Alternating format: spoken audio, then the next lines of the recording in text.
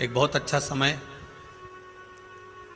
रात्रि के नौ बज के पंद्रह मिनट का एक समय होता है। पहले भी एक बार कथा में कहा है। आप लोगों ने ध्यान दिया होगा।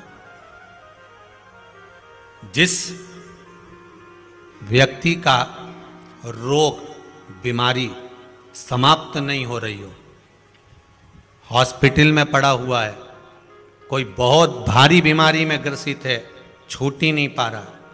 तो रात्रि को नौ बजकर पंद्रह मिनट पर किसी भी दिन शंकर भगवान के शिवलिंग का, जो तुम्हारे घर में शंकर जी विराजमान हो, उसका आप या शंकर जी के मंदिर में जाकर शंकर जी का थोड़ा सा जल, उसमें थोड़ा सा आंवला पड़ा हुआ क्या पड़ा हो?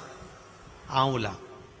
मतलब आंवले के पानी से शंकर का अभिषेक पूजन कर लीजिए। उसका नाम लेकर कर लो जो रोग से ग्रसित हो। एक दिन, दो दिन, तीन दिन करोगे, वो हॉस्पिटल से छुट्टी करके आ जाएगा। उसका रोग समाप्त तो हो जाएगा। दिया लगाइए और दिया लगाकर उसका अभिषेक, पूजन, स्मरण करिए। शिव का स्मरण।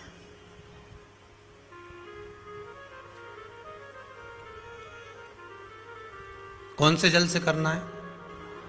आंवले के जल से। और अगर मान लो आंवला नहीं हो तो सूखा जो आंवला बाज़ार में मिल जाता है, वो भी डाल सकते हैं। वो भी ना मिले तो आंवले के वृक्ष की पत्ती, वो भी उसमें डालकर आप अभिषेक कर सकते